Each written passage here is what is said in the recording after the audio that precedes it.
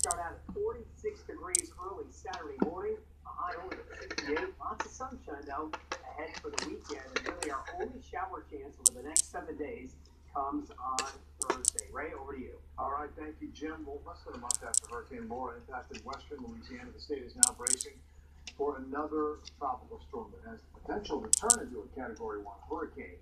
Tropical Storm Sally expected to make landfall within the next few days. Some are already preparing here in New Orleans. The mayor there has already declared a state of